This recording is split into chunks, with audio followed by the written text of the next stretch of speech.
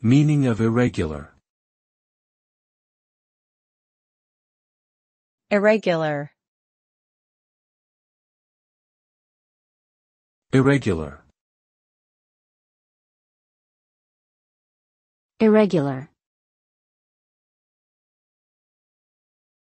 Irregular.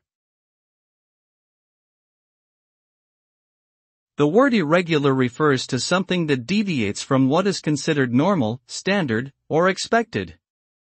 It can refer to something that is not arranged in a regular or symmetrical pattern, something that occurs sporadically or unpredictably, or something that does not conform to the usual rules or norms.